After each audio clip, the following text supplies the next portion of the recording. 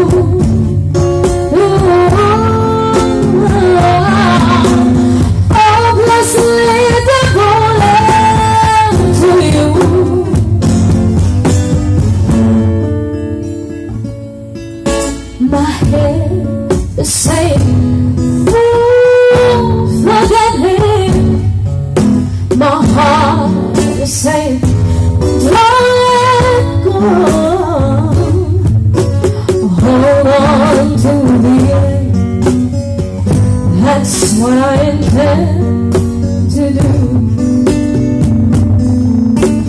Hopelessly devoted.